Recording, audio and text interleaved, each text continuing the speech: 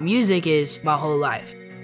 Whether I'm performing in stadiums, or I'm in a studio writing for someone, or like teaching guitar lessons. It's just something that's always gonna be there.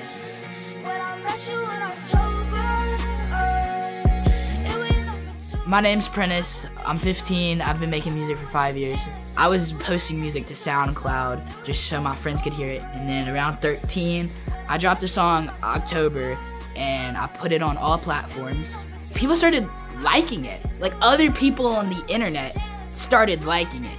It was up to like 100,000 plays. It was it was wild. Mark Hoppus noticed October because I shouted out Blink 182 in the song, and then Justin Bieber posted Hazel Eyes when I was still like unsigned. He um, came in one day and he said, "I have a manager," and we're like, "For what?" That's sort of when we figured out, wait, this could be serious. I mean, this is all done in his bedroom and with his internet connection through C Spire. C Spire's Fiber has helped me connect to anybody in this world that makes any type of music. I was making music with my Canadian friend on Discord in real time, and it was like that.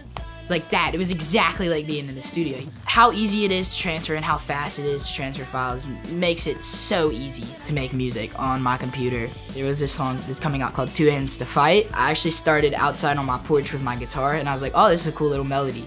Came in, produced it out, within like two hours just on my computer. That's what I love about having a home studio and having access to all this. We both work from home, coupled with Prentiss's music and his schoolwork. It is um, pretty amazing. This is a good example today. I've, I've, been on Zoom calls all day. Prentiss is doing his online school. Denise is doing her you know real estate business online. So we're all constantly on there. We went up to meet the label. They sat us at a big table and told us how much they wanted Prentiss. And Prentiss knew exactly what he wanted. What I've realized is the music will speak for itself. I've been working on my album for the past eight months now. I'm just really excited to have an album that people can listen to front to back. I just want to continue to grow. As long as I keep that goal, it'll just go in the right direction.